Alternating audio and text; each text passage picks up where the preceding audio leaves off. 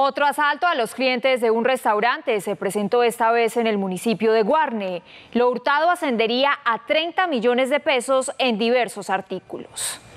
Esta vez el atraco se registró en la autopista Medellín-Bogotá a la altura del municipio de Guarne. Siete hombres armados sorprendieron a los comensales de un restaurante y les hurtaron todas sus pertenencias. Ingresaron, al parecer, unos sujetos armados, intimidaron a las personas que se encontraban en este sitio, hurtándoles eh, sus elementos, sus pertenencias, entre dinero, joyas.